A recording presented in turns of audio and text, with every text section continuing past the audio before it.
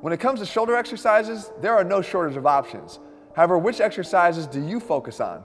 If you're struggling to build your delts right now, you're gonna wanna watch this video to the very end because I'm gonna give you the two exercises that you need to focus on if you wanna start seeing your best results. Now, others may want you to believe that there's only two exercises that you need and that all other shoulder exercises just don't even provide any additional benefit. That's not what I'm saying.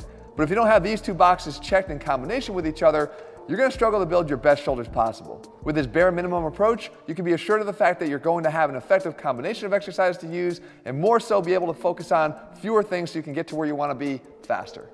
What's up guys, Jeff Cavaliere, AthleanX.com. So you might be surprised to hear me say only two, especially when it comes to shoulders when you've got the front, middle, and rear delts, there's a lot of choices. But if you use scientific selection of the exercises you do, you can make the right choice. Now, when we talk about the only two, they're not just the only two you need. It's if you're only going to do two, then these two need to be on your checklist. And the first one has to be some variation of a press. And we know that the barbell press is providing you great opportunity for shoulder growth, and that's all around shoulder growth, hitting all three of those heads. But what if you've actually maxed out your gains here, right? You just plateaued, you can't add weight to the bar anymore. We've got other options. And that would be something like a Z press, where we take away some of the momentum of the legs and maybe drop the weight just a little bit to work on that pure shoulder overhead pressing strength. That when you take back with you to an overhead press is gonna be a lot stronger. Now, it's also no secret that I like to take myself outside the rack and tell you guys to just grab a pair of dumbbells and do a standing version of the overhead press. This is a great option except for those who start to use heavier and heavier weights, trying to get the weights to clean them up to your shoulders from a standing position is a hell of a lot harder than it is from a seated position. So here's the option I'm going to provide you.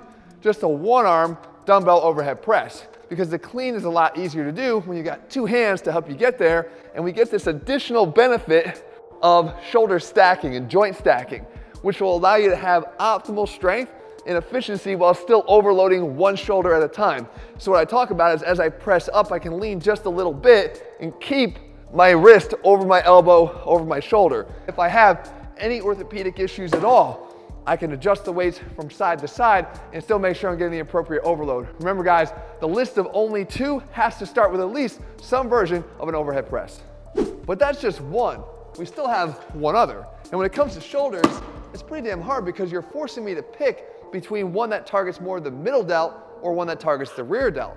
That's like asking me to pick between my twin sons. Well, luckily, I don't have to make that pick, and neither do you because I've got an option that's gonna actually help you to hit both. And it's gonna be a version of a lateral raise. And when we talk about this, guys, that is the movement. Some form of a lateral raise needs to be in the equation here. But we don't want to have to pick between the rear and the middle delt. And for me, that's where the side lateral raise is done with a cable because we get some really unique benefits here. Number one, I can get my arm across my body to get a pre-stretch on the middle and rear delts that isn't really there in any other variation.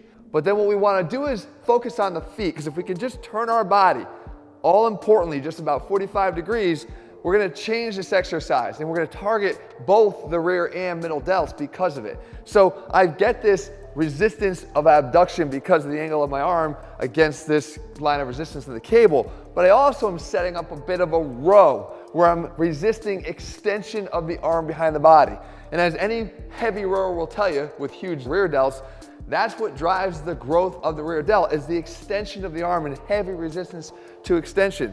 So by having this slight tweak of my body in this direction, I've turned this lateral raise into more than just a lateral raise. I'm getting the benefit to the middle delt and the rear delt at the same time with that stretch in place that I talked about from the very beginning. It's just a great variation of a lateral raise. Now, if you didn't have this cable setup, you're not out of luck try the cheat lateral again because the cheat lateral is an exercise I always talk about being able to give you that heavy resistance that has the eccentric component and overload too, but you can turn it into extension with that slight lean of the torso, extension, external rotation at the shoulder. You get all these components that are allowing you to get growth in both the middle and rear delt. Regardless of which one you choose, the lateral raise in some form or fashion is gonna be what you need to do. You pair it up with the first exercise, you got a powerful combination.